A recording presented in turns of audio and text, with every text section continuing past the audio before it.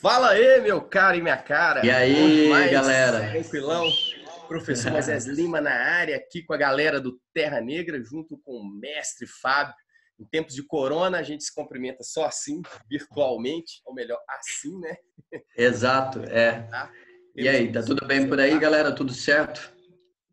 é o mestre Fábio, um filósofo que vai trocar uma ideia comigo hoje. Vamos aprender bastante sobre uma série de coisas muito pertinentes para o momento que a gente vive hoje. E aí eu passo a bola para o Fábio para a gente já falar dessa thumb maravilhosa. Para quem não sabe, thumb é essa imagem que abriu o nosso vídeo. A famosa capinha, né, Moisés? Capinha. A famosa capinha do Vamos vídeo. Pois é. Né?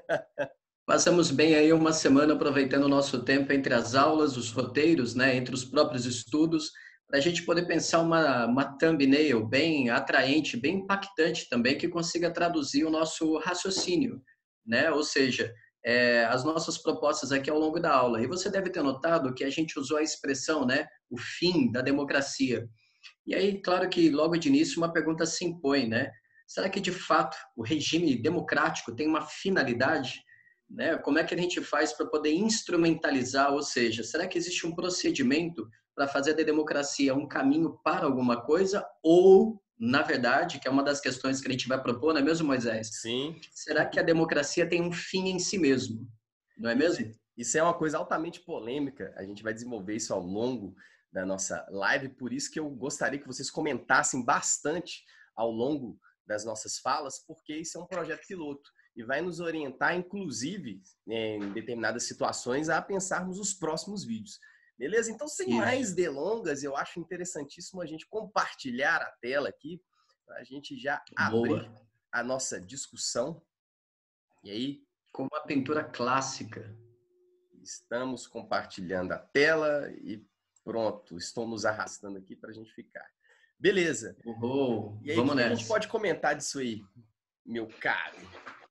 Então, nós temos aí de saída, né? A gente fez uma pesquisa e chegamos a conclusão que seria bem interessante a gente associar é, diferentes momentos históricos através das imagens. Então, talvez seja interessante a gente dizer o seguinte: é, tanto a, a, história da arte como também o cinema, que vai né, protagonizar alguns slides nossos aqui, algum momento da nossa aula, é importante destacar que algumas imagens elas podem ter um valor anacrônico.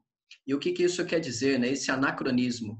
Uh, geralmente na história, né, os historiadores, as historiadoras são um pouco desconfiados do anacronismo porque implica num erro. Significa atribuir valores do nosso tempo presente para um determinado passado.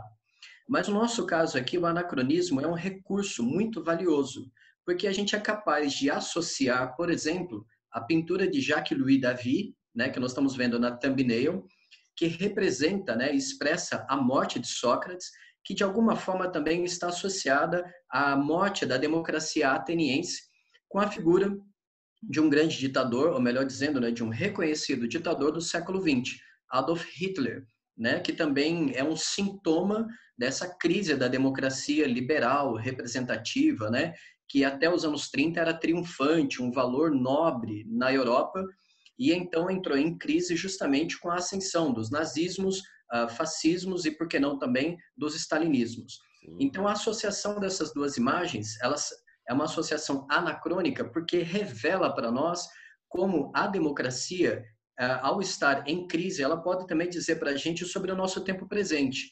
Ou melhor dizendo, sobre aqui a segunda década do século 21, e essa vai ser uma das tarefas, né, um dos bate-bolas aqui que a gente vai ter, eu e Moisés. Cara, um, só um comentário breve sobre o que você falou, que eu achei muito legal. Eu lembrei de um texto do Walter Benjamin, que ele fala que uma obra ela nunca está acabada. Seja uma obra, é, um texto, seja uma pintura, seja uma escultura, e que quando a gente critica essa obra, a gente tem um papel co-criativo, ou seja, a gente continua essa obra. Então, indo na esteira do Benjamin, é, eu acho muito tranquilo a gente pensar que esse anacronismo não, nesse sentido, não é um mal a ser evitado, mas sim são leituras uhum. possíveis dessa história do presente que a gente está fazendo. Para citar já um carinha que eu gosto pouco, tal de Michel Foucault, ele vem com a ideia boa, a gente fazer boa. uma genealogia, ou seja, a gente tentar entender questões do presente, mas voltando para o passado, para a gente fazer uma, algum tipo de comparação possível. Eu acho legal a gente pensar aqui na ideia do Hitler e na ideia do Sócrates presente, porque são dois momentos, tanto na democracia ateniense como, vamos chamar nos regimes liberais, igual você disse bem, nos anos 20, você tem um momento de colapso. Para a gente uhum. falar bem, uma palavra bem elaborada, é um momento de hecatombe, é um momento que o regime entra em crise. Mas para a gente entender isso melhor, a gente precisa falar um pouquinho desse quadro. Então, vou passar o slide. Olha aí. Bora. Então, vamos lá. Aí, nós temos uma pintura que é A Morte de Sócrates, né? E essa é uma pintura bastante famosa, é uma pintura neoclássica, e ela foi elaborada, ela foi finalizada em 1787 por Jacques-Louis David.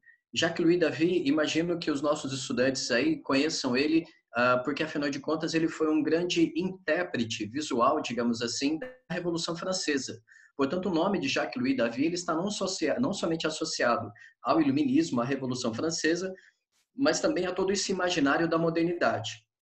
Vejamos então dentro da pintura. E aí, Moisés, é, vamos lá no bate-bola aqui para a gente ah, poder ótimo. extrair as informações. Como vocês podem notar, o nome da pintura, A Morte de Sócrates, já revela para nós a dramaticidade desse momento, né?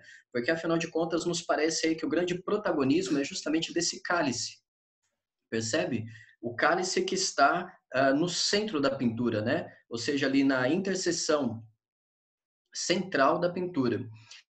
E aí é importante a gente destacar o seguinte: como é mais um, mais um pouquinho adiante, né, nós ainda falaremos das condições de julgamento, né, e por que raios Sócrates então foi julgado e condenado.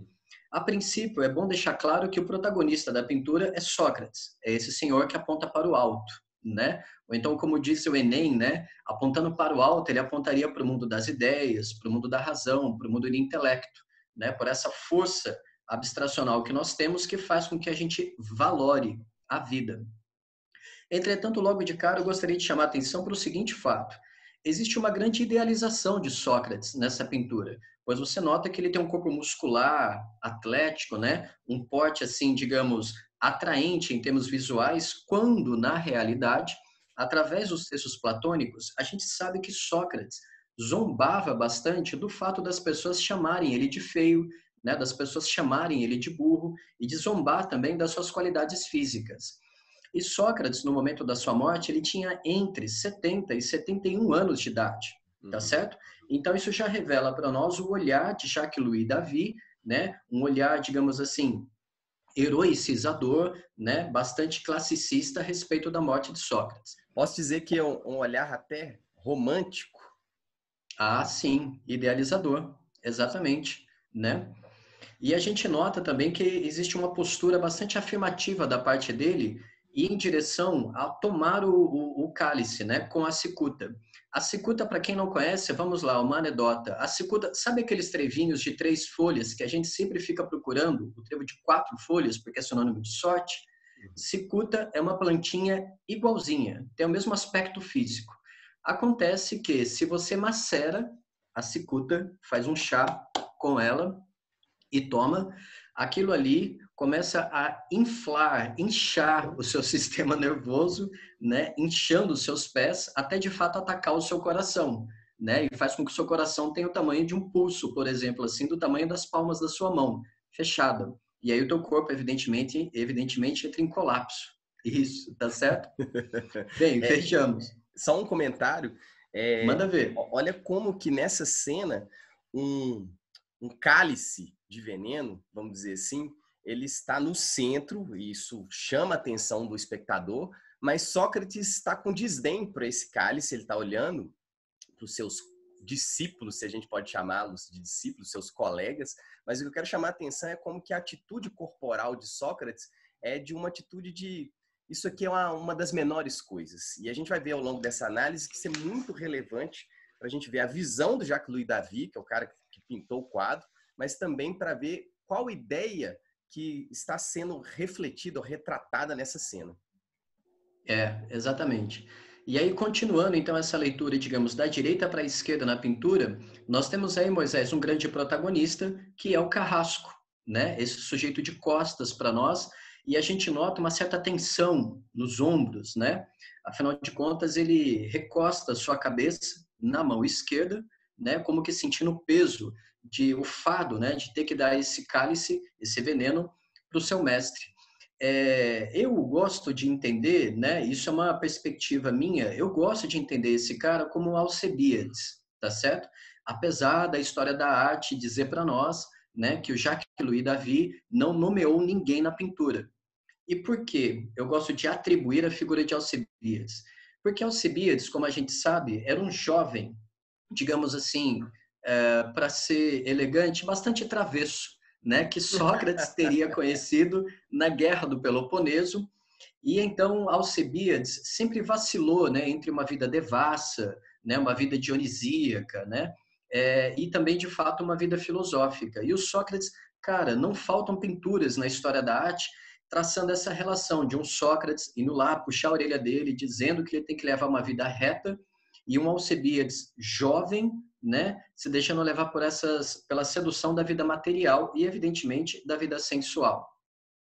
Indo em direção à nossa esquerda, a gente ainda faz, né, seguindo essa diagonal, através das costas de supostamente Alcebiades, a gente chega a esse senhor que está nos pés da cama, à nossa esquerda.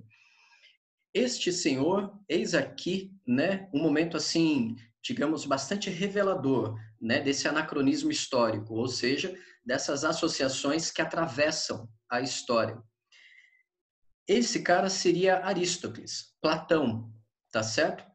Acontece que a gente precisa chamar atenção para o fato de que, historicamente, o Platão não esteve presente no momento da morte de Sócrates, né? no momento do seu suicídio, se assim a gente pode chamar. E Platão, na época, ele tinha somente 28 anos de idade. Então, logo de cara, nós temos uma série de informações na pintura que demonstram para nós essa dramaticidade e, digamos, mais uma vez, da figura de Sócrates né, até a nossa esquerda, uma transmissão de conhecimento.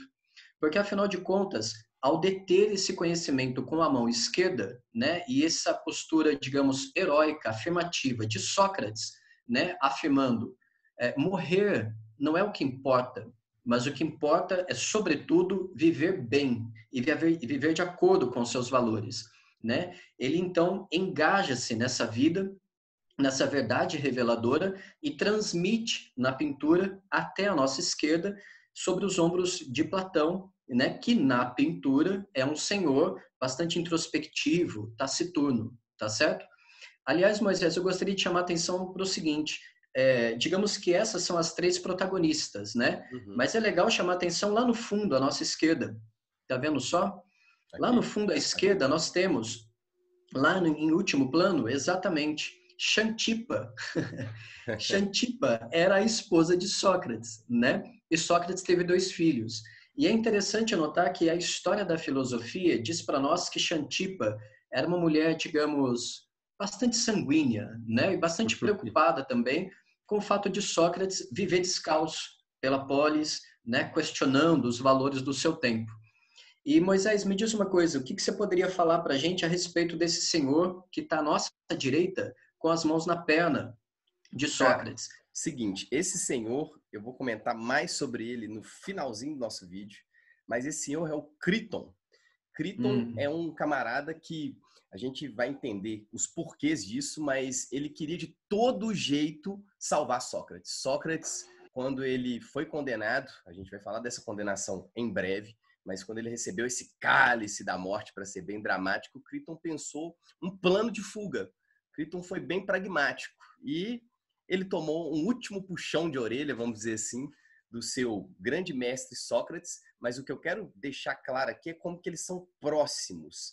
E existe um, um, grande mistério na filosofia, que é exatamente as últimas palavras que Sócrates vai dizer para Criton e para os seus amigos, mas isso vai ficar na curiosidade, daqui a pouco a gente fala. Mas aproveitando o gancho, eu queria fazer uma, um, mostrar um próximo slide aqui que eu acho bem interessante, que é o seguinte: a gente vai ver agora como que a gente pode interpretar essa leitura do Jacques Louis David é, à luz do que ele entendia que era o platonismo ou de como que ele está dando um recado a partir dessa pintura. Gente, isso é muito legal. Quando você vai educando o seu olhar em relação à arte, você vai ver que nada que está no quadro é puro absoluto acaso. Por mais que seja uma expressão da subjetividade, e eu de forma nenhuma quero dizer que é racional qualquer confecção artista simplesmente, mas eu quero mostrar como que nesse momento neoclássico os elementos que estão ali, eles são propositais.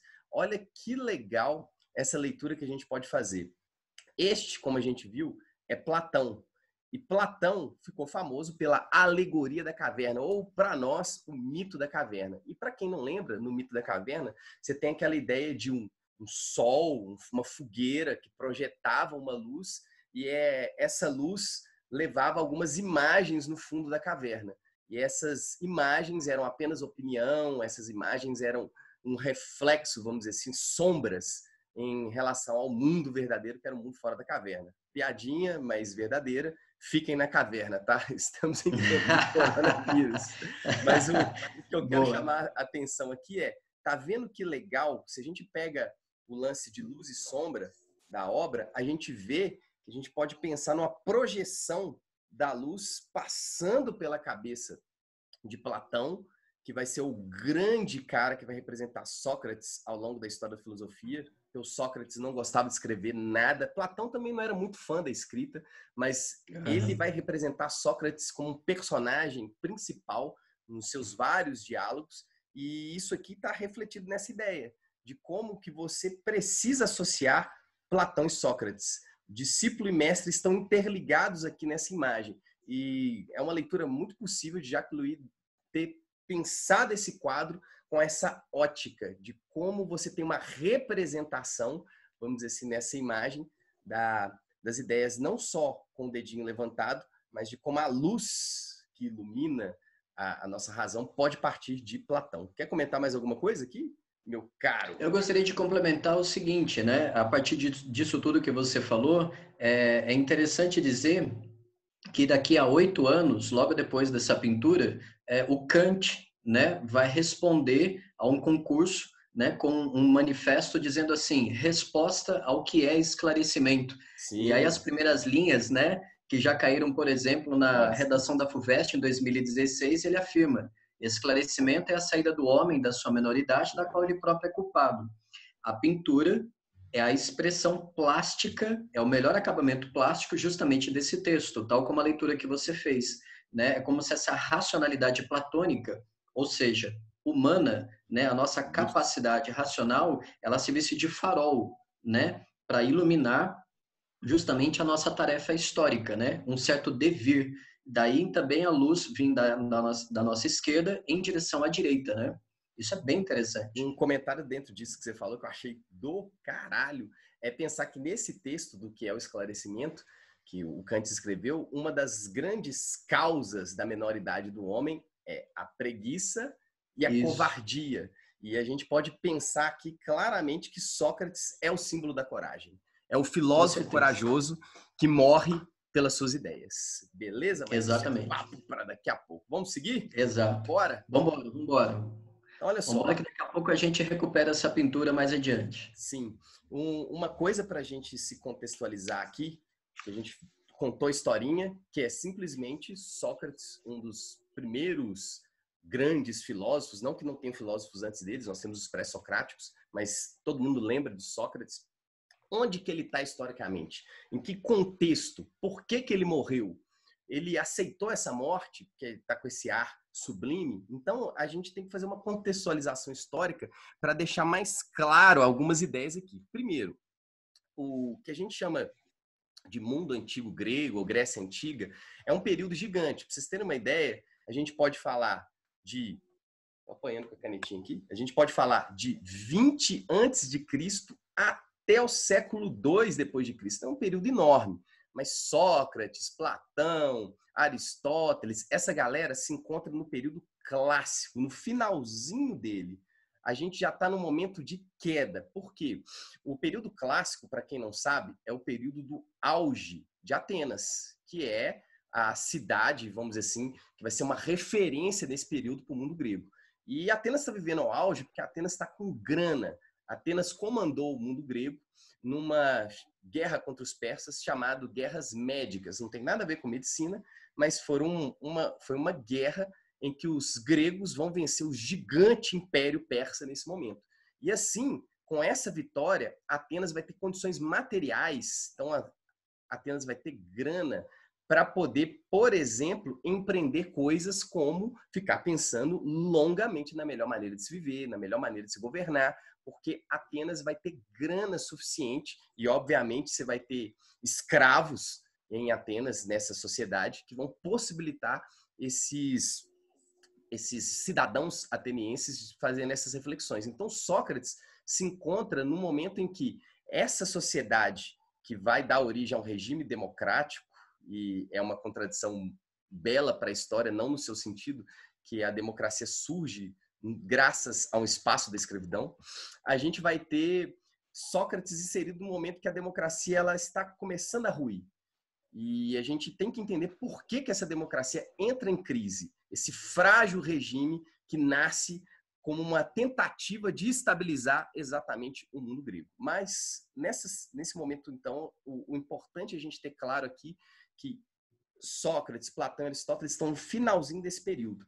O próximo período, que é o período helenístico, é quando Atenas é, cai e ela passa a integrar o grande império de Filipe II, que é pai de Alexandre o Grande. E aqui a gente já tem uma outra filosofia, porque Atenas já vai perder esse seu esplendor e essa sua autonomia política.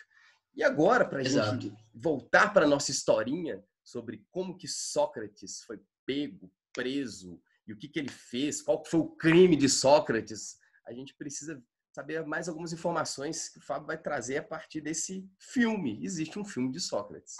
Ah, pois é. Por essa ninguém esperava, né? Você consegue imaginar Sócrates, a personagem ateniense, sendo protagonista de um filme, cara. Essa foi a ideia de um italiano chamado Roberto Rossellini. Roberto Rossellini foi um mestre do cinema, né? Eu vou abrir aqui uma janela rapidinho para dar uma dica bastante valiosa para vocês. O Roberto Rossellini foi um mestre do cinema italiano, leia-se, também por extensão europeu, porque no final da Segunda Guerra Mundial, ali do, do meados dos anos 40 para os anos 50, desenvolveu uma trilogia que foi assim decisiva para você entender o cinema dentro de uma postura política e também moral. Porque, afinal de contas, Rossellini, Zavatini desenvolveram o que a gente chama de neorrealismo italiano. Tá legal? E o cinema neorrealista significa você trabalhar com equipamentos leves e você também trabalhar com não atores, principalmente mulheres e crianças. E o cenário de fundo era uma Itália derrotada e devastada justamente pelo fascismo e pela Segunda Guerra. Acontece que depois de 30, 40 anos produzindo cinema, o Rossellini, já velhinho, né, aquele mesmo gênio do cinema, ele se dedica a uma série de filmes, digamos, pedagógicos e didáticos. Isso significa dizer que o hi-fi, isto é, a alta fidelidade do cinema naquele momento, era um instrumento político, isto é, um instrumento de consciência política. E por que, que eu estou falando isso? O frame que nós temos aqui em vista é um frame do começo do filme chamado Sócrates, feito em 1971, tá certo?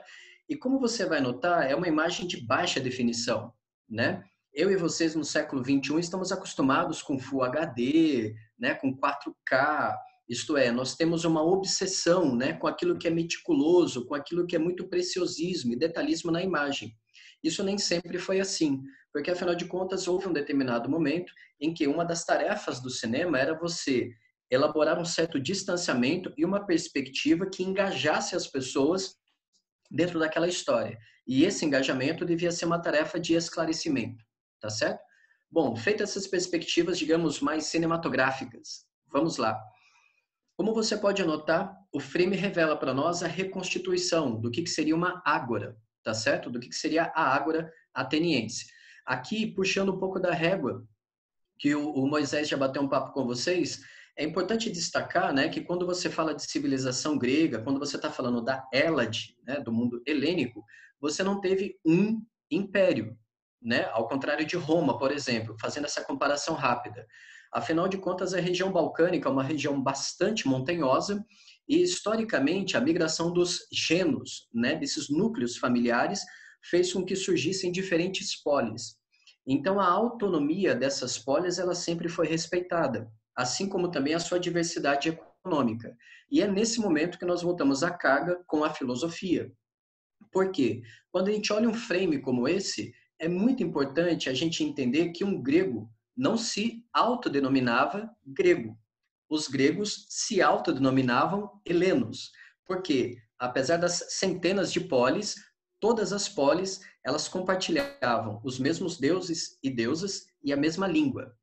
Portanto, apesar da diversidade política, existiam fatores culturais decisivos para poder aglutinar essa população, que eram, mais uma vez, a mitologia e a língua grega. Tanto é assim que a gente segue adiante para poder dar, digamos assim, uma micro-história, um close dentro de Atenas. Vamos lá? Vamos, só um comentário, só fechando exatamente o que você disse. Então, por isso que é muito comum a gente não falar de império grego, a gente não fala de nação grega, a gente usa a expressão mundo grego exatamente pelo que o Fábio falou. Existe uma unidade cultural, que é a língua, a mitologia, mas não existe uma unidade política. Cada cidade-estado que a gente vai ver, cada polis, e o plural poleis, falei isso só para gastar, a gente percebe que nessas poleis, é muito feio isso, não existe é. uma unidade política. Cada polis tem a sua, por exemplo, lei. Cada polis tem sua organização jurídica. Isso é muito importante para mostrar que o ateniense, ou espartano, ou tebano, ou cara de Megara, que eu não sei falar, esse camarada, ele, ele tinha como assim grande virtude o quê? Essa liberdade e essa autonomia de pensar o mundo e se organizar a partir dos seus critérios, a partir, mesmo estando inserido no horizonte de sentido, que é esse horizonte cultural grego. Mas continuando a nossa historinha, vamos para o próximo frame. Aí, legal. E aí, ao longo do filme Sócrates, aliás, né, é, sendo um filme, digamos assim, datado, velhinho, ele está disponível no YouTube para vocês assistirem. Se vocês gostam muito de história e de filosofia, é altamente recomendável. Porque ao longo do filme, como você vai notar, como vocês vão notar, a gente fez questão aqui de deixar alguns momentos, né, nos quais a gente identifica a legenda. Porque o roteiro do filme também contém certas citações de dois textos fundamentais, que são Apologia Sócrates e depois Criton ou do Dever. Lembram lá das personagens que nós citamos no começo da aula? A gente ainda vai voltar a elas. Mas é nesse momento que você nota né, o que é uma perspectiva de dentro do oikos, ou seja, oikos é o espaço privado, é o espaço íntimo de um ateniense, né? E aí, Moisés, é bem legal a gente poder falar um pouco também de como é que era essa vida privada, né? Porque, Sim. afinal de contas, é, essa vida privada para um ateniense, né? Era uma vida dedicada, destinada às pessoas chamadas de idiotas, não é verdade? Sim. Ou seja, idiotas são aquelas pessoas que, de, do ponto de vista ateniense, claro, não são naturalmente dedicadas à política. Elas só saberiam falar de si mesmas, tal como as mulheres, os escravos e as crianças. O que, você acha disso, Moisés? E tem uma possibilidade ainda que, na, no auge da democracia ateniense, é, todo cidadão era um político. Exatamente porque, porque depois de umas guerras faccionais, isso se torna um dos grandes símbolos dessa democracia direta, que é essa democracia que a gente chama de democracia ateniense. E aí esse cidadão que não se interessasse por política, esse era chamado também de idiota, porque aquilo que era mais precioso desse homem que é um animal político, segundo Aristóteles, ou um politikon, esse sujeito estava abrindo mão do que era mais precioso para ele, que era o uso da sua liberdade no espaço público para promover a melhoria da coletividade. Porque esse ateniense, isso é muito importante, a gente vai ver isso em outro momento, ele acreditava que a coisa mais importante é deliberar sobre a polis, porque estar junto é muito mais poderoso do que estar separado no seu convívio. E uma coisa legal que você falou sobre o oikos, esse oikos, ele mostra como que os gregos falam de liberdade, mas é uma liberdade que para a gente hoje é uma liberdade restrita. As mulheres não tinham participação política, as crianças não tinham participação política, os jovens e os escravos.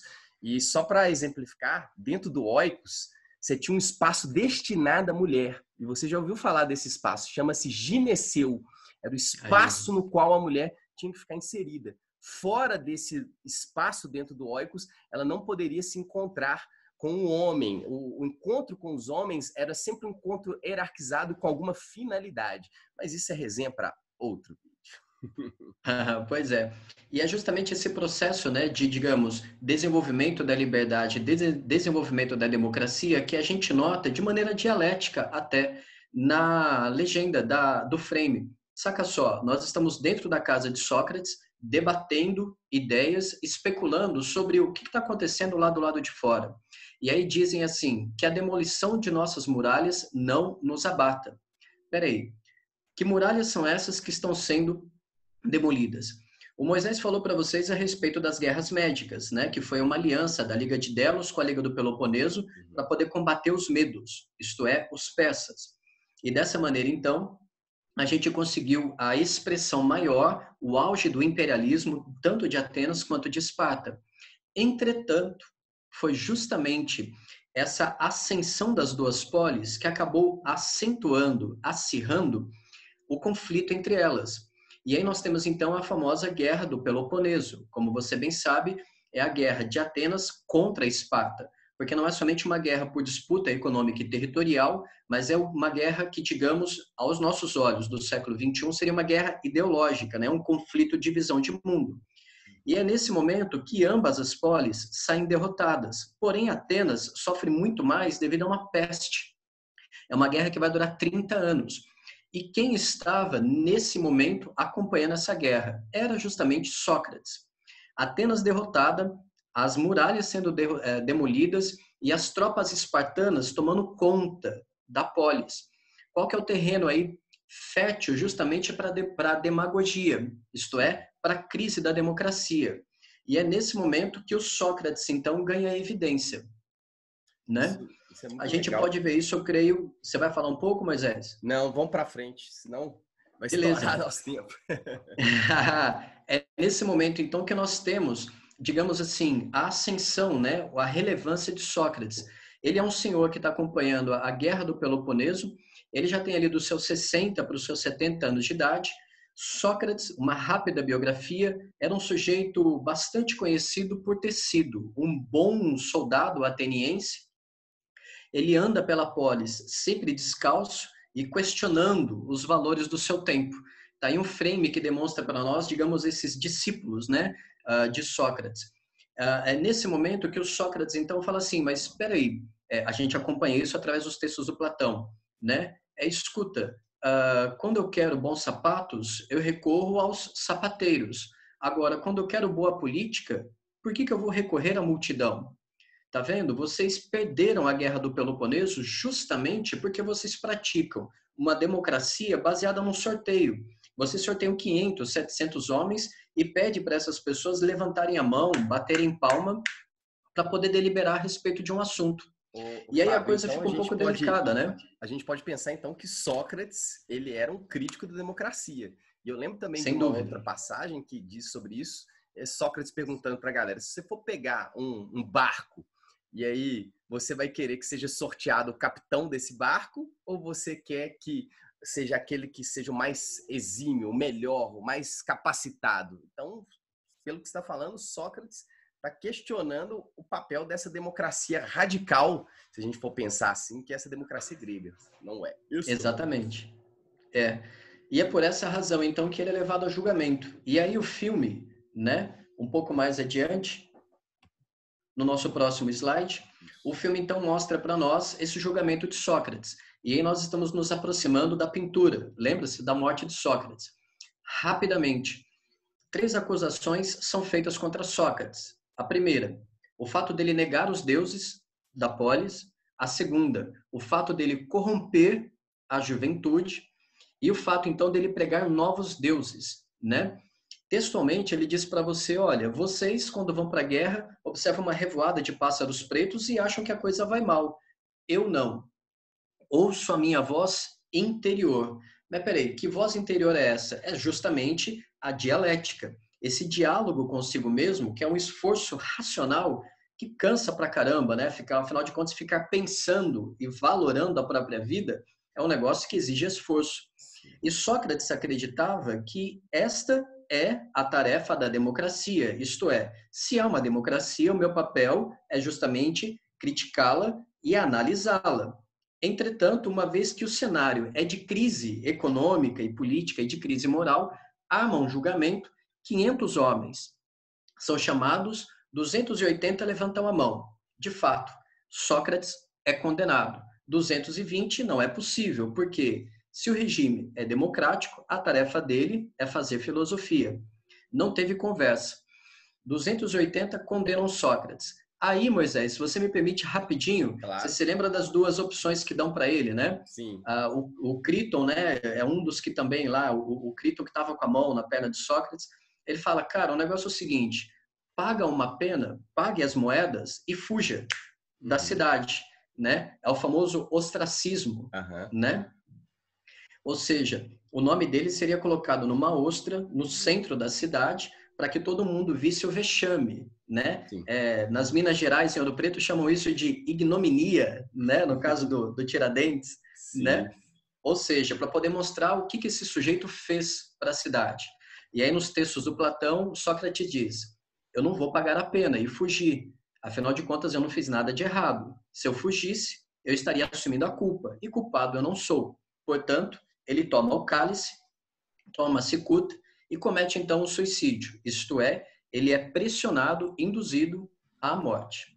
Eu tenho duas considerações aqui para falar na linguagem de hoje sobre o que o Fábio disse. É, então, Sócrates tinha a opção de ser cancelado, ou seja, boa, exatamente. A televisãozinha apagada, desaparecer. E Sócrates, então, ele nada mais foi condenado por ser um professor doutrinador dos jovens. Exatamente, justamente por incentivar a reflexão. Então, ele era um doutrinador, esse Sócrates levado, danado. pois é. E aí, Moisés, rapidinho, então o que claro. acontece, né? Antes de você seguir adiante com a história, só para a gente, acho que é legal a gente amarrar.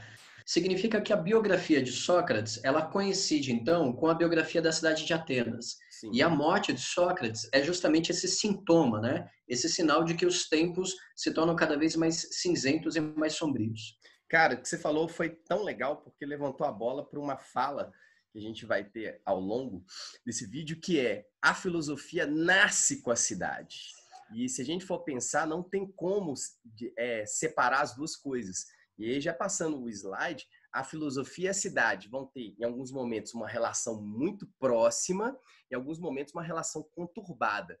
Tanto, dando um spoilerzinho, o senhor Platão, que assistiu toda essa cena, vai ser uma pessoa extremamente resistente com o regime democrático e resistente à cidade. Não é à toa que Platão foge da cidade e pensa uma filosofia que é uma filosofia da solitude, uma filosofia que é feita sem esse contato direto do debate da cidade. Debate que eu já tenho que falar com vocês, ou seja, esses encontros que aconteciam neste lugar aqui, ó.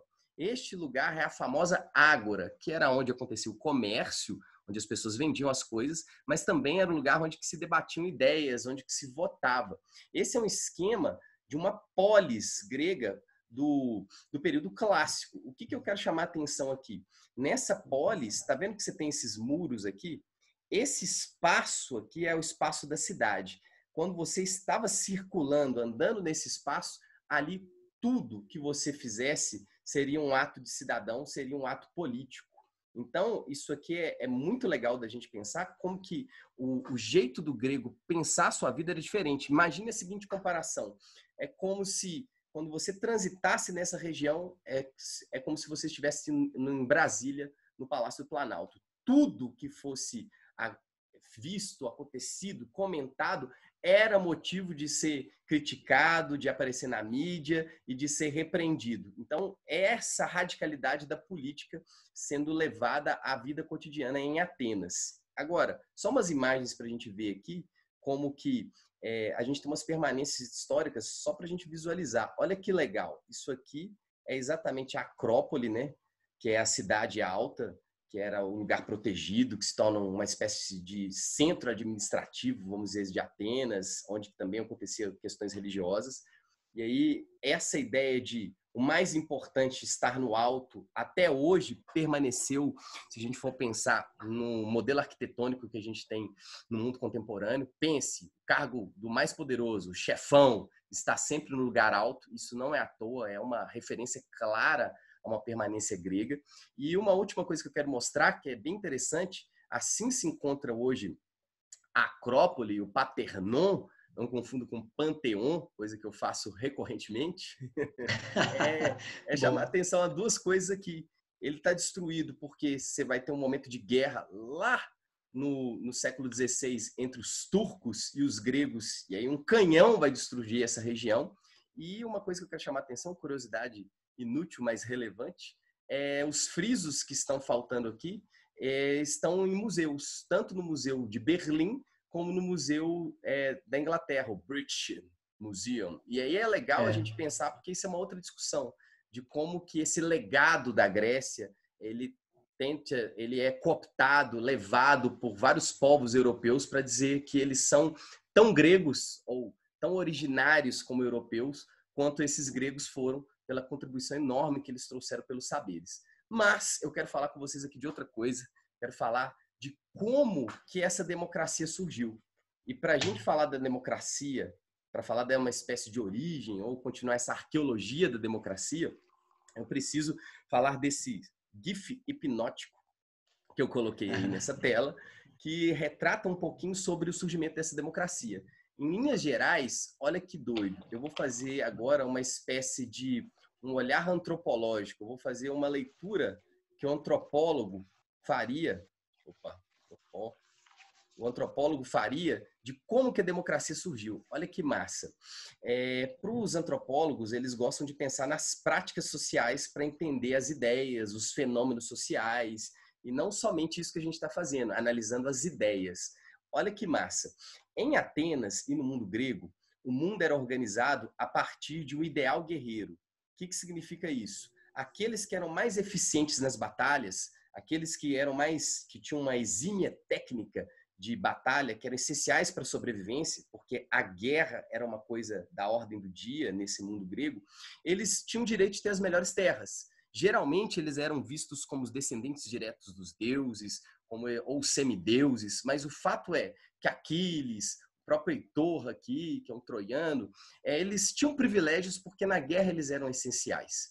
E assim você tinha uma sociedade estruturada a partir da desigualdade. A desigualdade de acesso, por exemplo, à terra, uma desigualdade, por exemplo, de participação política. E essa desigualdade era bem assentada nessa ideia de que os guerreiros, aqueles que têm a força, que nos defendem, devem ocupar esse lugar de uma espécie de aristocracia. Eles podiam ser os aristoi, os melhores. Isso não fazia nenhum, não tinha nenhum tipo de problema. O que acontece? Por volta lá do século 8 antes de Cristo, vai acontecer uma mudança prática da guerra, que a gente chama de revolução oplita ou oplítica. O que seria essa revolução oplita? A revolução oplita é uma mudança do jeito de guerrear. Tá vendo que esses espartanos, eles estão formando uma espécie de casco de tartaruga?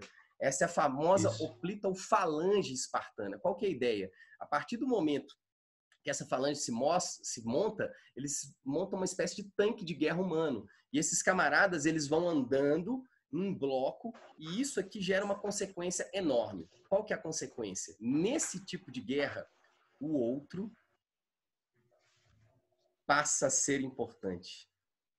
Sabe qual que é a radicalidade disso? Se o outro é importante, você não tem mais o melhor guerreiro, o pior guerreiro. Imagina um momento de guerra, se eu decido ah, dar aquela abaixadinha no escudo esquerdo, porque aquele sujeito que está ao meu lado é um nobre, que tem as melhores condições de terra. Se eu desmonto o escudo naquele momento, a falange cai, a oplita cai. Então é necessário um laço social entre esses indivíduos. E aí o que, que acontece, que é muito importante, a partir da revolução oplita, aquele cara que tinha as piores terras, mas que era tão importante na guerra quanto o super guerreiro, começa a reivindicar melhorias sociais. Ele começa a reivindicar o que? Um espaço de participação política, um acesso a essa terra, uma melhoria econômica, e aí a gente vai começar a ter as famosas guerras faccionais em Atenas. É muito legal que o mundo grego vai passar a ter aquilo que Platão chama tardiamente de estase, ou seja, guerra entre irmãos. Esses irmãos vão guerrear em facções quando não tiver ocorrendo as guerras contra os inimigos estrangeiros.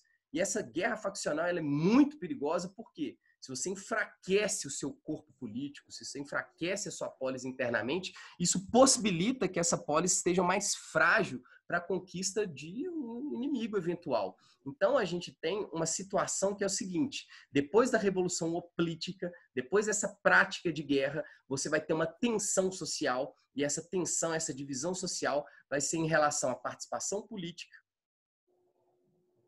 e o acesso à terra. Então eu estou querendo dizer para vocês, gente, que Atenas vai elaborar esse sistema democrático não vai ser simplesmente por uma reflexão filosófica. A análise de Platão, de Aristóteles, de Sócrates é uma análise posterior. A democracia ela se monta por uma necessidade de convivência. É, é até estranho ter que falar isso, mas viver em sociedade nos leva a ter uma potência maior. E essa potência maior, ela vai propiciar um modo de ser, um modo de vida melhor quando a gente está junto.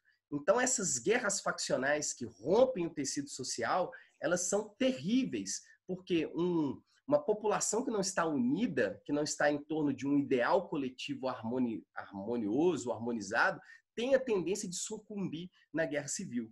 E a última coisa que eu quero falar disso aqui, que eu acho muito importante, é como que Platão, mesmo não sendo muito fã da democracia, ele percebeu como a estase, como essa guerra entre irmãos, ela é perigosíssima para o regime democrático. E aí, falando é. de Platão, eu tenho que passar a bola para o Fábio, que vai comentar algumas coisas. Vamos para frente, porque isso aqui não vai dar tempo. Então. Vamos embora. Exato. Ô Moisés, rapidinho, cara. Você falou, assim, essa abordagem antropológica é fascinante, né? E a maneira assim completa e complexa também que se apresentou todo o tema me fez aqui lembrar de muitas coisas que eu nem sabia que eu lembrava. Rapaz, eu tive a oportunidade de ir na FAP, aqui em São Paulo, ver uma exposição dessa memorabilia grega. E eu tive a possibilidade de ver de perto um escudo oh, da falange. Uhum. Rapaz, pense, aquele negócio é pesado, bicho. Você vê aquilo, o cara levando aquilo só com o braço esquerdo, eu fico imaginando o que, que era a força física daqueles caras, o que, que era vigor, entendeu? É impressionante. Mas vamos adiante. Quando você comenta aí sobre o Platão, eu vou só pegar claro, um claro. aqui que conta essas ideias, vou só mostrar para vocês aqui e manda ver. Beleza, claro. Bom, como o Moisés falou para gente, depois da morte, suicídio de Sócrates, então, quando nós temos a crise dessa democracia ateniense, o Platão, que não estava presente no momento em que Sócrates toma sepultura, tinha 28 anos de idade, então ele parte de Atenas, porque Atenas, olha lá, o livro Mestres... Mestres da Verdade na Grécia Arcaica. Essa ideia está refletida aqui por esse antropólogo Marcel Detienne, que é um cara fodíssimo, francês, e chega de comentários. E aí Platão, então, com seus 28 anos, ele sai de Atenas, porque afinal de contas é um território bastante hostil à filosofia, né, aos intelectuais, digamos assim. E aí, cara, tem um itinerário de Platão que é bem interessante. Antes de tudo, é bom chamar atenção para o fato de que Platão é o apelido de Aristóteles. Combinado? Então, se você até hoje chamava Platão pelo nome, vamos então rearrumar isso daí. Aristóteles filho de uma família abastada, né, de uma família proeminente, um eupátrida. Historicamente, é um cara que gostava de Olimpíadas, tinha um porte atlético, daí as suas pleitanas, as suas omoplatas largas. Então, pensa no cara com seus quase 1,90m, com um porte atlético, tá certo? E que tinha um impacto, né? Ou seja, era um sujeito que fisicamente, quando ele chegava, ele causava uma certa comoção. Em suma, era uma pessoa atraente, né? Tinha lá a sua beleza. Então, esse jovem com 28 anos, ele sai de Atenas e ele passa 12 anos viajando, né, fazendo seu mochilão. Ele vai conhecer a escola pitagórica, né, onde uh, o Pitágoras aceitava mulheres, inclusive, né, no culto aos números. Ele vai conhecer a filosofia de Maniqueu, aquele dualismo oriental, conhece filosofia árabe, isto é, peça também. E quando ele volta para Atenas, 12 anos depois, com seus 40 anos de idade, ele funda uma escola chamada academia, que é uma toponímia, ou seja, na região de Academos. Aqui na imagem nós temos um mosaico, tá legal? E esse mosaico é um mosaico dos anos 200, do século 3 depois de Cristo. E é uma expressão, é uma representação do que seria essa academia platônica. Bem, coisas que são valiosas para nós.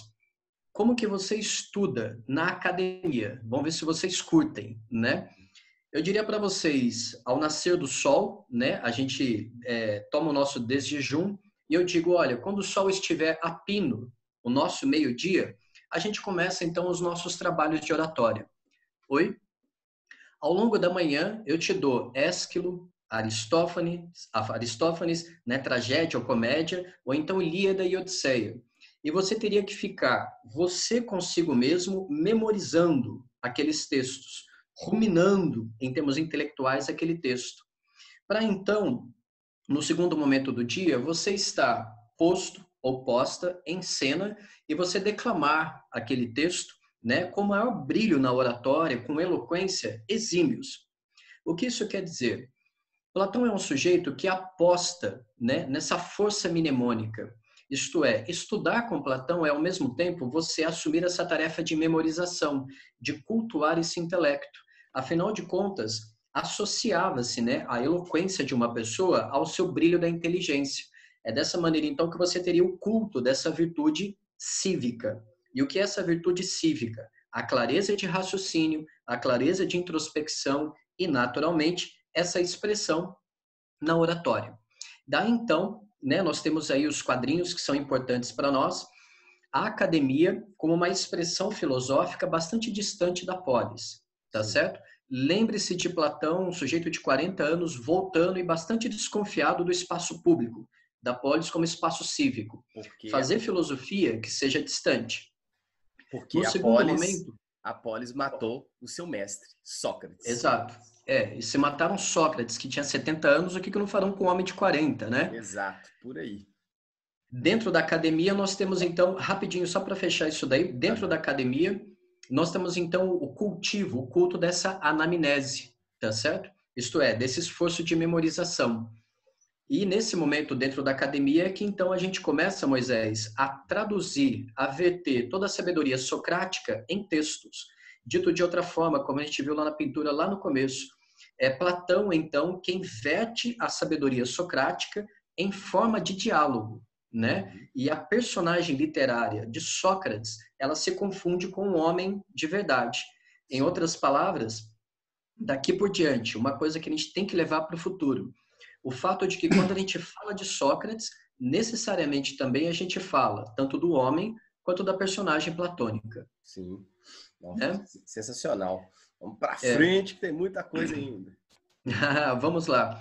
E dentro dessa tradição, então, escrita de Platão, nós temos alguns textos que são, assim, centrais, né? Ah, Digamos, para ser bastante pragmático, como o nosso assunto aqui também é vestibular, nós já citamos para vocês Apologia Sócrates, nós já citamos Criton e o Dever, agora a gente apresenta para vocês o Simpósio, o Banquete de Platão. Banquete. Galera, se vocês ainda não leram um texto platônico, não percam tempo. Pega o Banquete, é um livro curto. Eu devo dizer isso porque, afinal de contas, vivemos no século XXI. É um texto curto, né? E pensem num conjunto de intelectuais, de amigos, saindo de uma peça de teatro. Eles vão para a casa de um colega, abrem uma garrafa de vinho, no caso deles, néctar, com uma boa comida e uma boa bebida e começam a escolher um tema. E ah, beleza, vamos falar a respeito de Eros, do amor. São seis as personagens e cada um vai dar uma expressão do que é amor. Portanto, aqui para você que tem que fazer vestibular, o banquete é um texto elaborado em forma de diálogo porque tem uma finalidade dramática. Isto é, é uma polifonia, um conjunto de vozes que expressa as diferentes expressões, ou melhor dizendo, as diferentes formas de Eros. Tá certo? E o que é Eros, então, para o banquete? Bom, são seis Eros diferentes, a gente não vai abordá-los aqui, mas tem um momento que é central, né, Moisés? Quando o, o, o Sócrates ele encontra uma sacerdotisa, né, uma mulher que é a própria revelação da verdade, né? Dessas que aparecem feito um cometa assim na vida das pessoas. E ela diz: Eros é uma energia, um demon, energia entre os humanos e os imortais. Cara, é o tipo de expressão que quando você aprende, você leva pro resto da vida. Exato. O que, que é demon em grego? Energia, percebe? Então existem pessoas que nos fascinam e nos potencializam, e outras nos entristecem. Existem comidas, existem bebidas que nos potencializam, atividades físicas que nos potencializam, e outras que nos entristecem, nos empobrecem a vida. Portanto, Eros é justamente essa energia que consegue potencializar, nos tornar mais alegres e contentes. Vejamos na pintura. Moisés, vamos lá, vamos trabalhar com esse Feuerbach do século XIX. Aliás, século XIX, Feuerbach, esse nome é alemão, tem um background filosófico aí rico, né? Nossa, enorme, enorme, enorme. Vamos marcar quem são as pessoas importantes dessa cena aí? Vai lá para nós que eu, que eu, vou te ajudando aqui com a canetinha malandra. Beleza. Galera, vamos lá. Ó, foco na pintura então, porque agora a gente tem uma pegada de história da arte. Como vocês podem ver, é uma pintura que supostamente ela tem uma aparência fria, né? Mas entretanto a gente vai dar o um colorido nessa pintura. Esse sujeito ao centro, com cálice na mão esquerda, é agatão. Tá legal? Agatão. Como você pode notar, ele tem uma certa centralidade na pintura, né? Com a postura ereta, abrindo a sua mão e acolhendo acolhendo um sujeito que você já ouviu falar. Lembra do sujeito que eu atribuo e eu quero ver na minha cabeça, lá na pintura da morte de Sócrates, vestido de vermelho, bastante dramático, né? Dando cálice para Sócrates, Alcebiades. Esse aqui? Estão vendo na nossa esquerda? Exato.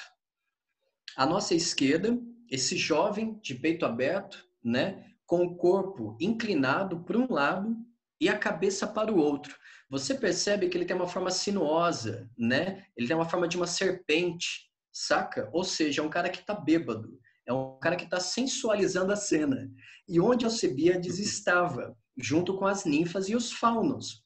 Tanto que você nota que a galera que entra da esquerda para a direita são seres é, dionisíacos. Eles vêm da floresta, nem né? vêm do mundo escuro, tá certo? E esse Alcebiades, ele entra fazendo um estardalhaço no banquete, ele entra fazendo um barulho, representando essas forças dionisíacas, as pulsões da vida.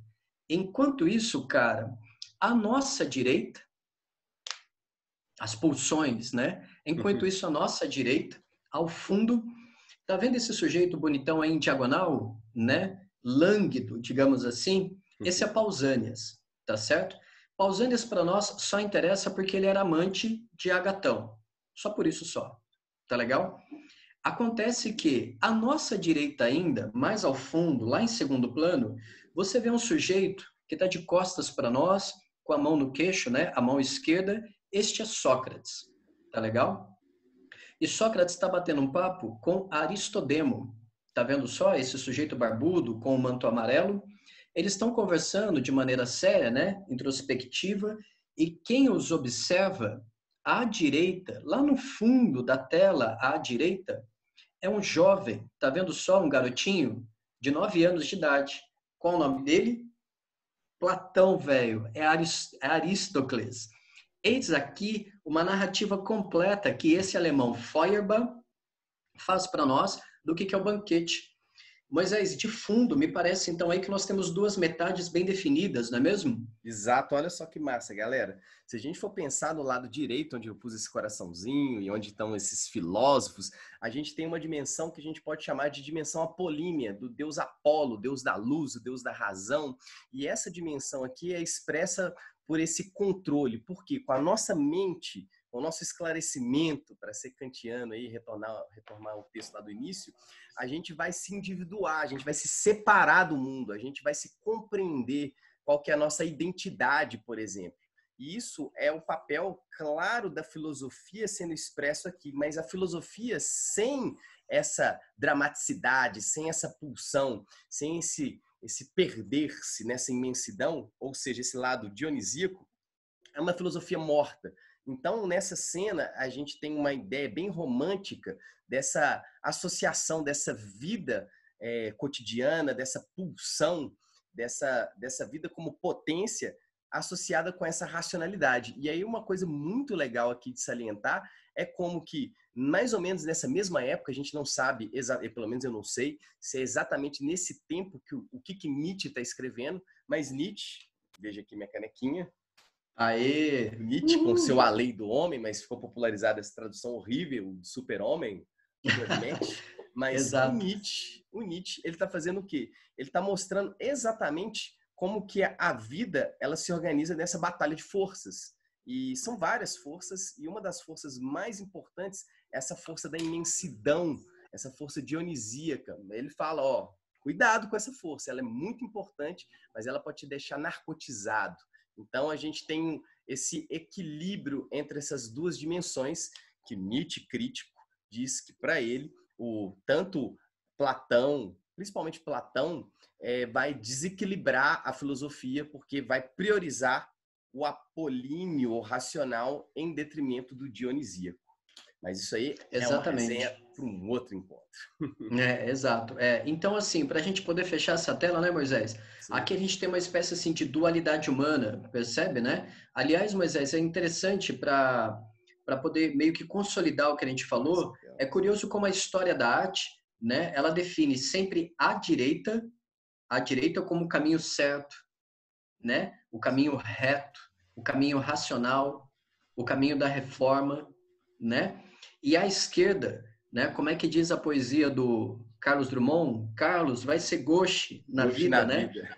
é a esquerda como um caminho torto, né? O caminho revolucionário, o caminho da transgressão, o Muito caminho do calor, né? O caminho do coração, percebe? Justamente numa pintura que evoca as muitas vozes que fala de amor, de Eros, lá em Platão. Isso é um negócio legal pra caramba, né, cara? Vamos para frente. Ó, chegamos agora em uma hora de live. Então, meus caros, nós vamos fazer o seguinte: nós temos mais 20 minutos para a gente trabalhar com uma pancada de coisas. Se você quiser saber mais coisas, a gente vai comentando aqui e, e vamos lá. A gente vai conseguir. Bora! É nesse momento, então, assim, para a gente fazer referência a um outro livro de, de Platão, Moisés, essa é uma pintura uh, também do século XIX, né, de Ingrid, Apoteose de Homero. A gente vê na centralidade da pintura a figura de Homero, né, o grande historiador grego.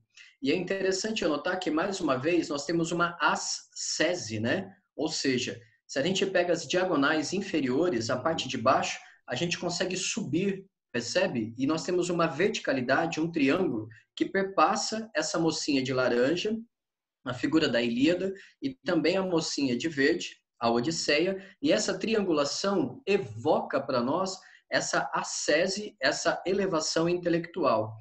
Isso para poder evocar essa certa triangulação, né? Como se costuma dizer nos vestibulares, o governo tripartite de Platão, né? Eu acho que isso nos leva ao slide, ao próximo slide, né? Porque afinal de contas Sim. a gente vai bater um papo a respeito de Politeia. Sim, exato. E aí? É. Aí para a gente poder fechar Platão, então o que acontece? É importante deixar claro que existem dois textos é, que são assim os mais recorrentes no vestibular: o banquete que nós acabamos de trabalhar e agora a Politeia. O texto se chama Politeia, tá bom, galera? Politeia é o termo grego. Você vai chamar de república, porque afinal de contas o mercado editorial tem que ganhar grana, porque os romanos latinizaram todo o trem grego. Portanto, a República de Platão não tem nada de república, é um governo aristocrático.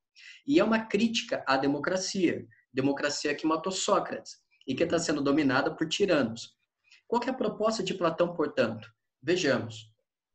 Nós temos que levar em conta um governo ideal, né? um governo perfectível, e esse governo teria na sua cabeça, isto é, vamos pegar Homero aqui como referência, o governo dos reis filósofos. Quem são esses caras? Os caras que desejam eros, tem carência, eros, né? Tem carência de verdade. Portanto, diz a Unesp para nós, né? O Sócrates fala na República, ao atingir os 50 anos de idade, aqueles que sabem governar a si mesmos saberiam governar a cidade. Portanto, esses seis filósofos seriam a cabeça da cidade, eles expressariam intelecto e uma elite né, intelectual. No andar de baixo, ou seja, na camada média, nós teríamos então aqueles que seriam os assessores, isto é, nós teríamos os assistentes. A gente pode chamar esses caras também de guerreiros, aqueles cuja alma de prata, na altura do tórax, né, bate mais forte.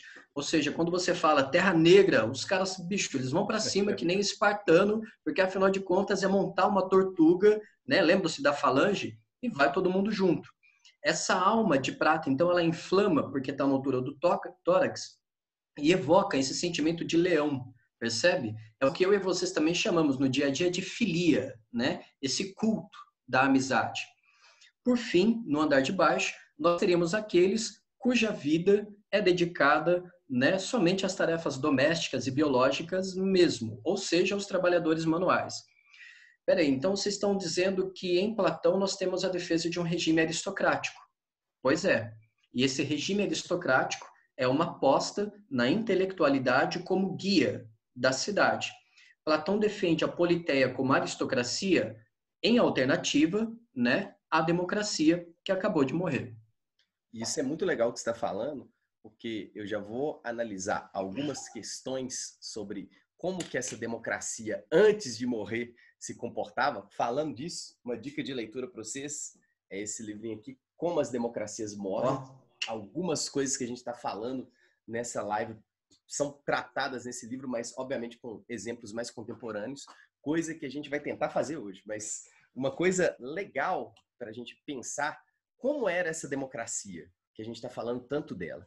Essa democracia grega, galera, era uma democracia que a gente fala que é um, diz, né, que é uma democracia direta.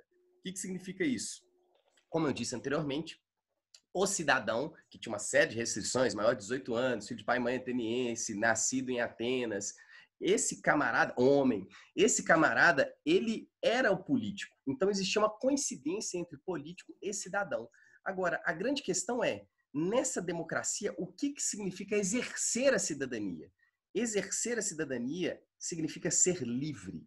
E o conceito de liberdade para um grego é uma coisa muito ampla e em alguns momentos ele se choca com aquilo que a gente entende como liberdade, porque nós contemporâneos ou pós-modernos ou hipermodernos, dá o nome que você quiser, ou modernos, a gente entende a liberdade muito perpassada pelo caminho individual, uma liberdade que trabalha muito com a noção do interesse do indivíduo, da sua casa, da sua família. O ateniense ou esse grego a, passa por uma noção de liberdade que é uma liberdade coletiva, apesar de ter o espaço desse indivíduo, mas esse indivíduo, como cidadão, deve sobrepujar, deve estar acima desse indivíduo como membro do seu oikos, membro da sua casa. Essa é uma primeira dimensão. E uma segunda dimensão, a gente tem que entender o que, que os caras estão dizendo como liberdade. Liberdade, galera, isso aqui é muito doido. Liberdade é você estar além da vida voltada para a subsistência.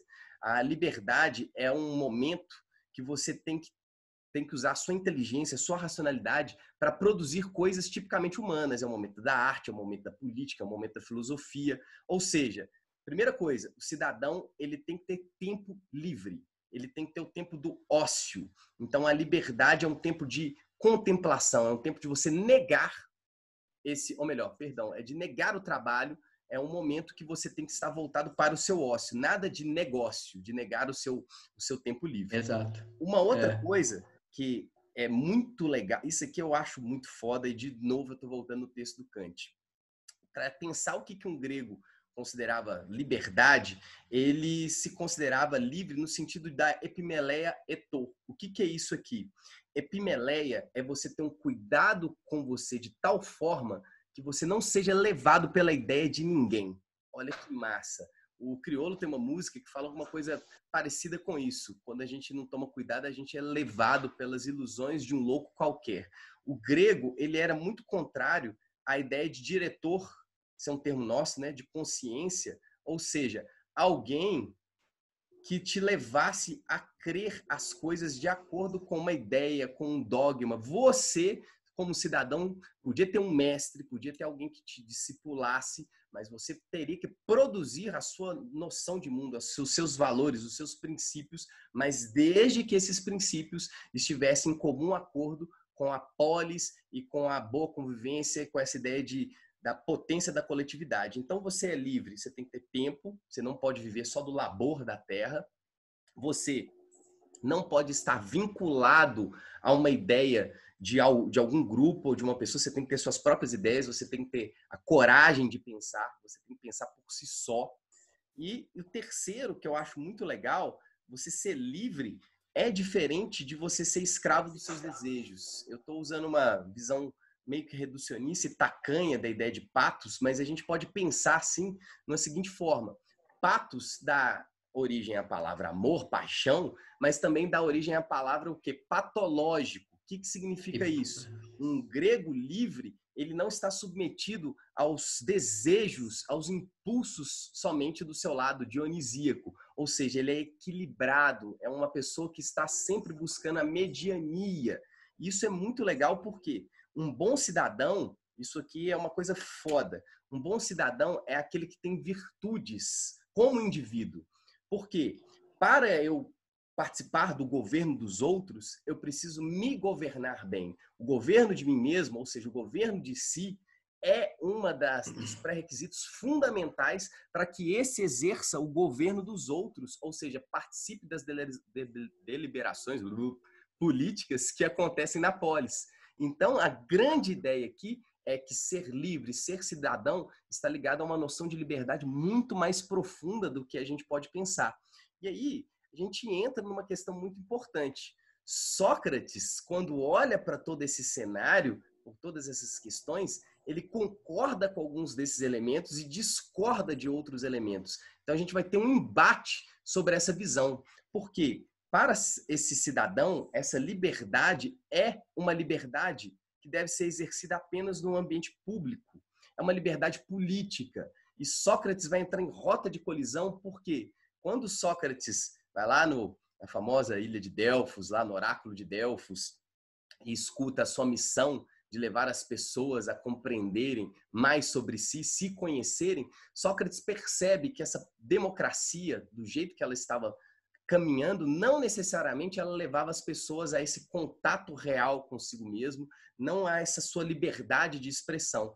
Então Sócrates, ele vai usar essa liberdade como cidadão, mas ao mesmo tempo ele vai bater de frente com alguns desses pilares defendidos pela democracia. E aí a gente tem um papo muito legal. A gente vai dar um salto no tempo agora, porque nós temos uma filósofa muito foda que estuda esses gregos, que pensa essas questões, que é a Raninha para os íntimos, a Hannah Arendt, que é, Boa. Que coloca uma série de questões dessa democracia grega, mas para pensar o presente dela. Qual era o presente da Hannah Arendt? Era um presente pós Alemanha nazista, era um presente de crise dos valores, tanto que você tem uma tentativa de remodelação da ordem do mundo depois do terror do Holocausto, depois do terror da Segunda Guerra Mundial, com todo aquele com aquela tragédia humana e institucional. E aí eu convido o senhor Fábio a comentar aí. algumas coisas sobre a Hannah. Mais uma vez, começamos com cinema, é, começamos com cinema e vamos terminar com cinema, né? Daí o, o, cartaz do filme para vocês, o filme que foi dirigido pela Margaret von Trotta em 2012, tá certo? O filme se chama Hannah Arendt e é a sugestão final que eu dou aqui para vocês assistirem esse filme espetacular. A Margaret von Trotta, diretora, trabalhou já, esse não é o primeiro trabalho, né, dela com a Bárbara Sukova, estão vendo lá no alto à esquerda o nome da atriz, né? Essas duas mulheres são muito potentes no cinema alemão contemporâneo e fica aí o filme para vocês. Rapidamente, a Hannah, nascida na Alemanha, judia, em 1906, ela defende o seu doutoramento com uma tese sobre o amor em Santo Agostinho, orientada por ninguém menos que Martin Heidegger, tá certo? E aí então ela é capturada, passa por um campo, o famoso lager, né, um campo de concentração na França. Ela tem a oportunidade de receber um passaporte norte-americano e vamos embora, né? Exílio nos Estados Unidos. É, é importante destacar, né, que essa chegada dela uh, nos Estados Unidos é radical, né, no sentido de raiz, para ela então estudar não somente as origens do totalitarismo, como também um livro clássico para nós, como qualquer texto de Hannah Arendt como a condição humana. E aí a condição humana, que é o nosso próximo slide, o livro lançado em 1958. E aí puxando tudo o que Moisés já falou para vocês. Lembre-se daquelas distâncias entre o privado e o público. O que eu gostaria para poder encerrar um raciocínio, né? Uh, fechando com Hannah Arendt. A Hannah, em 58, ela estuda a condição humana e as condições da democracia do seu tempo a partir de três conceitos: o que é labor, o que é trabalho e o que é ação. São três dimensões da vida para um grego. Labor são as atividades vitais, biológicas, instintivas, tá certo? Comer, dormir, fazer sexo, se alimentar, tão simplesmente. Então, são tarefas que eu e vocês fazemos para manter a nossa subsistência e sobrevivência. Aliás, eu, vocês e qualquer animal. Só que isso não basta, porque somos humanos. E o que, que nos humaniza? É tornar esse mundo, esse ambiente mais confortável, produzindo mesas, cadeiras, não somente livros, obras de arte e escultura. Daí a ideia de trabalho, de fabricação do mundo, percebe? Ou seja, desenvolver técnicas para aprimorar a nossa existência. Só que essa tarefa não basta. Existe uma outra dimensão mais radical, radical no sentido de raiz, que é justamente o aprimoramento pelo logos, pela racionalidade. É importante deixar claro, né, Moisés, que a partir de tudo que você colocou aí, logos em grego, aliás, qualquer termo grego, ele é sempre ambivalente, né? Logos é linguagem e lógica, tá certo? Então, o que, que é a ação? É a participação efetiva nesse espaço público, nesse debate público. Eu creio que assim a gente pode concluir, pelo menos aqui, né, com uma ideia, retomando lá no começo, né? A pergunta da nossa thumbnail era o fim da democracia?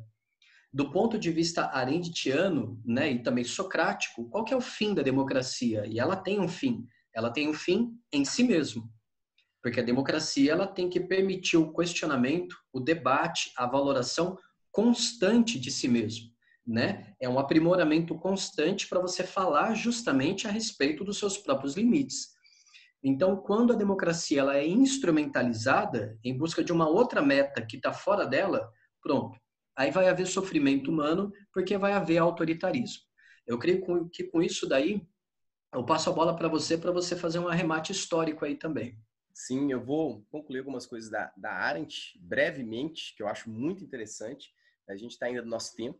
E aí, o que eu acho massa é o seguinte: a Arendt, nesse conceito de ação, ela fala da importância da política, mas política não no sentido tacanho, nesse sentido desgastado que a gente vê hoje, mas política no sentido de um entre-lugar entre o homem e a sociedade, um elemento articulador. Olha que foda dentro do que o Fábio falou. A política é uma coisa que é como se fosse o suprassumo da ação humana. Por quê? Para a política basta ter homens. E a política, a partir dessa, dessa, desse essa reflexão do homem com ele mesmo e desse homem com o outro, ele consegue produzir esse mundo melhor. É como se a gente saísse desse estado animal, desse estado só de subsistência, pensando na noção de liberdade grega, e fosse em direção à nossa excelência. E aí é muito legal isso, porque a Hannah Arendt, ela ficou muito famosa por um texto que está até refletido nessa imagem aqui, que é um texto falando sobre a banalidade do mal que é o julgamento desse camarada aqui, o Eichmann. Eichmann. Eichmann. É. É, aí tanto faz, mas o que eu quero dizer é que quando ela publicou o conceito de banalidade do mal, que não falarei agora sobre ele, ela foi muito criticada por esse conceito. Ela recebeu porrada de tudo quanto é lado. E aí ela escreve um texto que é chamado Verdade Política, que está numa coletânea de livrinho, numa coletânea, que é esse livrinho aqui, ó, aqui, Entre o Passado e o Futuro. E aí o legal que nesse texto ela vai colocar algumas questões fundamentais para a gente pensar se a democracia está no CTI ou não, se a democracia está morrendo, se a democracia está contaminada com coronavírus e está perdendo seu ar. Ridículo isso, mas foi legal para a gente pensar algumas questões. Olha o que ela fala nesse texto. Ela fala nesse texto, por exemplo, que a verdade ela tem um papel muito poderoso na organização do mundo. A Arendt, nesse texto, Verdade Política, ela diz que a verdade estabiliza o mundo. Como assim? A verdade, diferentemente da mentira, ela produz calmaria, ela consegue organizar esse mundo. Vai ficar mais claro o que eu quero dizer. Por quê? Se a gente for pensar o exemplo oposto do mundo da verdade, que seria o totalitarismo, ou o fenômeno dessas tiranias que estão sempre manipulando as imagens, manipulando as ideias, manipulando as informações, os discursos, a, o totalitarismo ele vive um mundo da mentira organizada, que é um mundo que quer sempre promover ideologias, principalmente gerando medo nessas pessoas, para quê?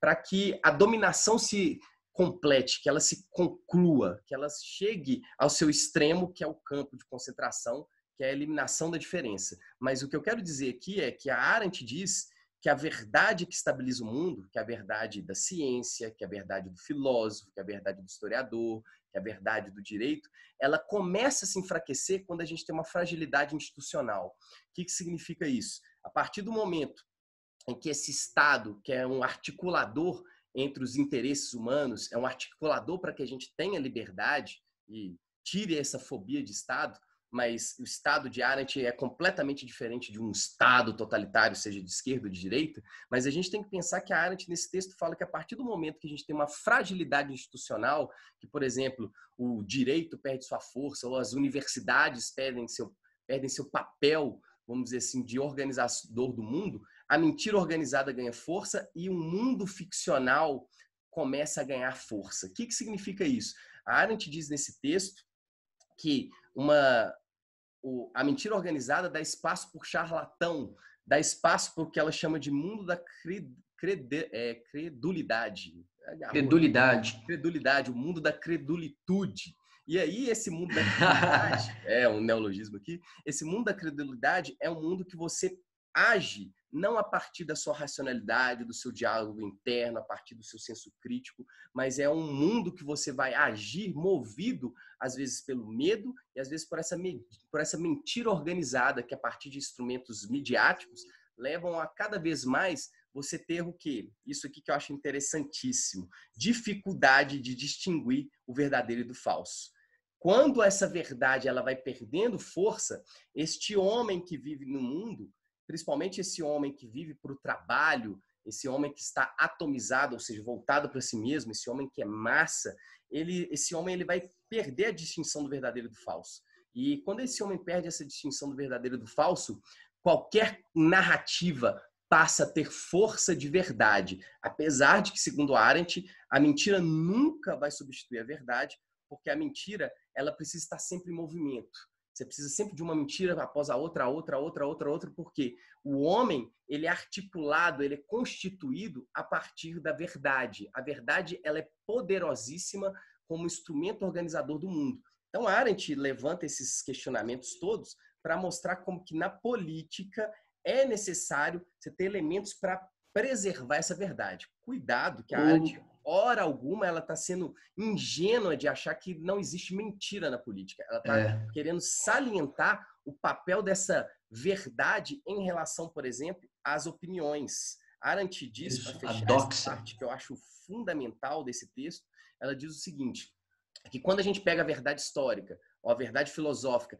e leva ela para a cidade, isso é até um contraponto ao próprio pensamento arentiano, quando você leva essa verdade e começa a discutir, ah, nazismo é de esquerda ou de direita? Ah, teve campo de concentração? Ah, acho que não teve isso não. Quando você começa a discutir verdades factuais e leva essas verdades para a opinião, essa verdade ela vai se é, desidratando, perdendo força, e isso leva a essa fragilidade institucional e essa criação desse mundo ficcional. Isso é extremamente perigoso.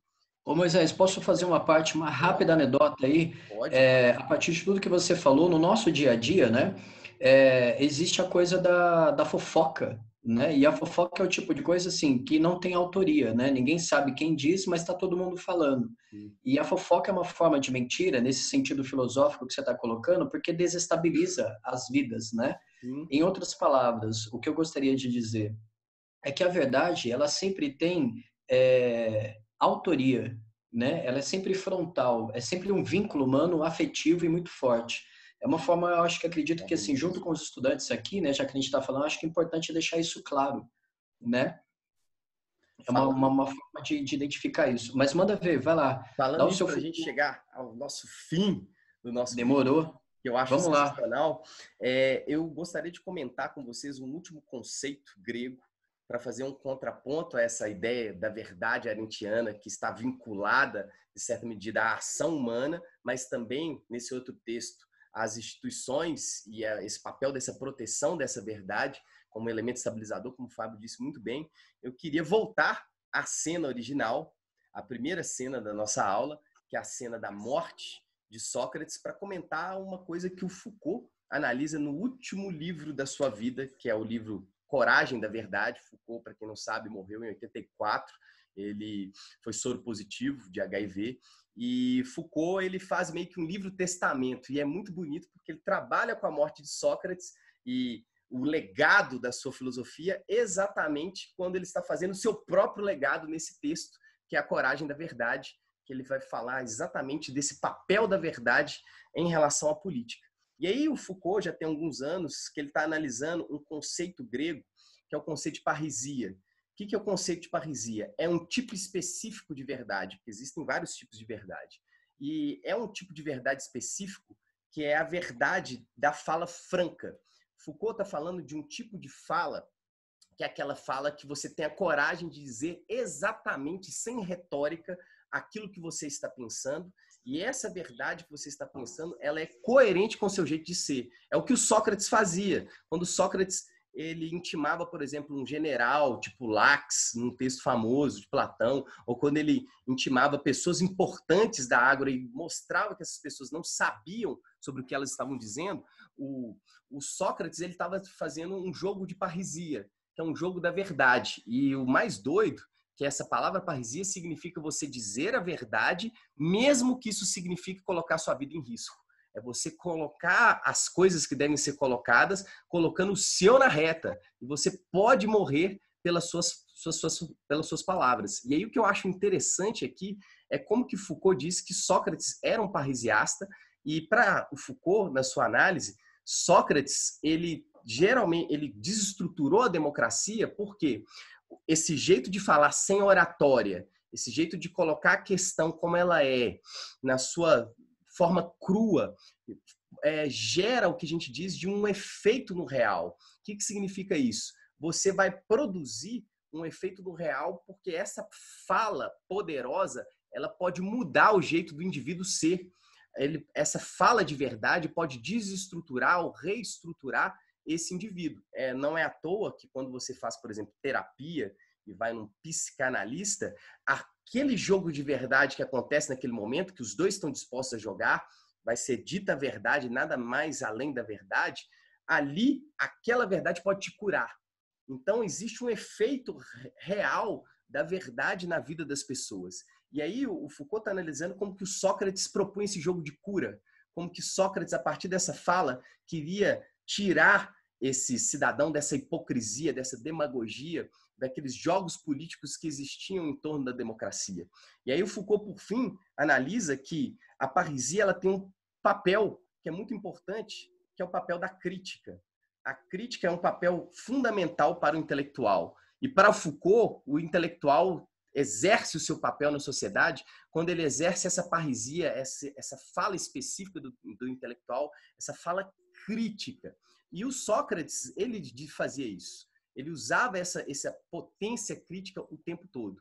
E aí, para a gente finalizar e falar finalmente dessa democracia em risco, desse totalitarismo, como diria Foucault num texto é, para uma vida não fascista, desses microfascismos que estão o tempo todo ao nosso derredor, o tempo todo nos levando a corroer essa democracia, essa ação humana, esse contato humano, eu quero falar da última fala de Sócrates antes de morrer, que nos leva a umas reflexões bem maneiras para a gente encerrar a nossa live, que está eterna, mas para mim está sensacional.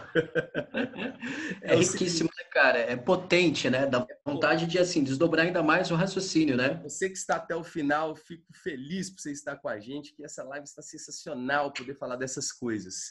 Força! Olha só, as palavras finais de Sócrates são para Criton. Para quem não lembra, naquela imagem, é esse camarada aqui, ó, que está com a mão na coxa de Sócrates. E aí as palavras finais é o seguinte: o Sócrates simplesmente fala assim, Criton, pega um galo, é então um bicho, né, e faz um sacrifício a esse deus aqui, que é o deus da cura, Esculápio. que é o deus Esculápio. Então ele fala isso por muitos anos. Essa frase de Sócrates na filosofia é uma frase enigmática. O que, Sócrates Exato. quer dizer com isso? Como últimas palavras. Se a gente for pensar, season finale da vida de Sócrates, o momento assim que é o auge, Sócrates fala assim, ó, escular, ó, Criton, vai lá e faz um sacrifício para o Deus da Ô, Moisés, um outro, um, perdão, de te interromper, claro. mas um outro enigma, um outro enigma também do momento da morte, né, é que perguntam, cadê Platão? Exato. Porra, o moleque tá desde os nove anos de idade acompanhando Sócrates. Sim. E aí a história da filosofia, abre aspas, diz assim: Platão, vírgula, estava doente. Porque é. ninguém sabe onde raios o cara tava, né? E o que quer dizer essa doença, né? Será que é uma doença Exato. de alma? Será que é uma doença Exato. física? É. é aí deixo para vocês as conjunturas. Mas o que eu quero dizer aqui para a gente chegar a esse fim, que por muito tempo isso foi uma, uma questão assim, o que que rola? O Nietzsche, esse bigodudo aqui que eu gosto pouco também, ele faz uma leitura que o Foucault vem discordar frontalmente, mesmo o Foucault sendo um grande entusiasta da leitura nietzschiana de mundo. O Nietzsche diz o seguinte, que Sócrates, no final da sua vida, deu uma fraquejada. Por quê? Quando ele fala que a partir da sua morte ele vai ser curado, que é isso, assim que Nietzsche está lendo o Sacrifício a Esculápio, é como se ele estivesse dizendo na leitura de Nietzsche, lá no Gaia Ciência, que Sócrates está dizendo que a vida é uma doença e que a vida não pode ser vivida. Mas o próprio Nietzsche, em alguns momentos, fala bem do Sócrates, em outros não, dizendo que Sócrates era uma potência na sua vida porque ele o tempo todo está se pondo e cuidando de si e colocando suas verdades. Então, o Foucault, não concordando com essa leitura de Nietzsche, ele, nesse livro Coragem e Verdade, vai se apoiar na leitura de um cara chamado Dumézil, que era um, um mestre francês das mitologias, e ele diz o seguinte: que na verdade, e eu acho isso sensacional, que quando Foucault, ó, oh, perdão, quando Sócrates pede o, o, o sacrifício ao galo esculápio, ele está dizendo o seguinte: ô oh, Criton, finalmente nós estamos curados. Curados de quê? Estamos curados da opinião do outro. A gente consegue viver as nossas verdades. Agora, cuidado. Quando eu estou falando dessa epimeleia, epimeleia que é essa ideia de um cuidado com a opinião do outro, não significa que Sócrates está dizendo que a gente tem que fazer o que quer e viver na sociedade de forma anárquica, desconsiderar a coletividade. Não. É de que a gente não leve uma vida em função de conceitos e de ideias que a gente não, não façam sentido para a gente. Sócrates, quando perguntava o que é justiça, o que é amor, o que é verdade, ele está querendo buscar isso de uma forma mais precisa, definições mais claras que ele sabe do poder da verdade em relação a gente. Para a gente fechar. É, que em, Foucault, em Foucault também isso vai ser chamado de o cuidado de si, né? Exato. No Foucault tardio, né? O cuidado de si. Uma né? estética né? da existência desse cuidado de si. Para a gente fazer as nossas considerações finais, deixa eu tirar essa tela, essa imagem aqui. Vamos voltar nós dois aqui. Aí, galera. Ainda bem que vocês estão aí, firmes e fortes, claro. né? Parabéns a vocês. E aí, tá vendo só? Nós tivemos, através do fim da democracia, várias considerações. Aliás, Moisés, as pinturas né, de Jacques-Louis David, a pintura de Feuerbach, a pintura de Ingres, né? E nós tivemos aí também três filmes, não foi? Ou foram dois filmes? A, o filme de Sócrates e o filme da Hannah Arendt, não é? Então, sim. O que, que você acha? Eu comentando finalmente, eu achei sensacional. A gente quer que vocês comentem, que vocês participem para a gente ver se a gente está indo no caminho certo. Esse pilotão foi sensacional. E é isso aí. Falou, galera. Até mais. Legal. Um Até mais. A gente se vê. Tamo junto aí. Abração.